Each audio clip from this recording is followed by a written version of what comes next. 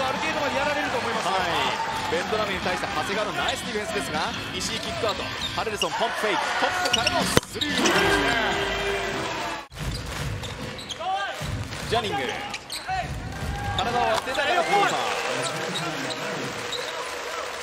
これだけのディフェンスをしてるんだからこのタイムシェアっていうのは僕は理解できるんですよね、えー、ハレルソン押し込んでのフローター。ハレルソンもシュートタッチが良さそうです。早くも7得点。ペイントタッチからトップでオープンの助手ハレルソンを見ようというイサヘッドコーチ、まあ、その狙い通りのオフェンス続いています。藤井エンドワン今度は篠山と高橋紅葉のマッチアップ。ニックにはハレルソン。アギナール。入れ替わってリバースレイアップ、さあ川崎逆転。16対15積極的に打ってっていいでしょうか？いやいいと思いますね、うん、オープンになって打たないというのはもうあまりいい結果を生まないですからね、渡辺龍之介が準備をしています。渋谷です。ベンドラム選手昨日これほどのプレッシャーを、あのー、与えられてないですからね。ここも。あーっと狙っている。アギラールのスティール。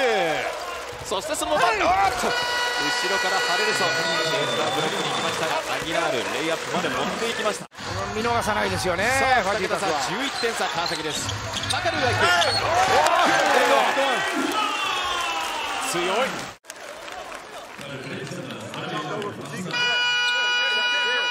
石井のスリー、はい、ブロックリバウンド広瀬タップアウト掴んだのは増田ですニック・ファジーカスそしてアギラープレーよ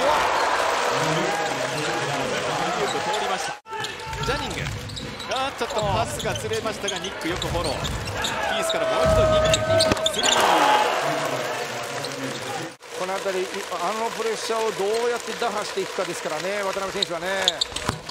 リバウンドかかる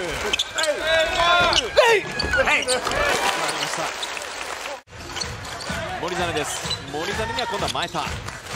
そうですねこれいっていいと思いますはい、はい、いいですね。からもう一度。スキッパー関野を見ていました。関野のプッシュ。関野のプッシュ。ショット。おおよく決まりましたよく入りましたね、えー、高橋紅葉ドライブスルーから。セントラメのコーナースリー昨日から空いたショットヒットさせますしっかりとプレーを続けた川崎です、まあ、それが今日のこういったバウンスバックする姿につながっています。日本掴んだ西野。バスケット体の入れ方がやっぱうまいですね、えー、そしてここ最後の最後でヨネスです。まあ、川崎ファンが期待を寄せる中ヨネスのプレー。最後は増田のスリーが落ちたところで試合終了。86対60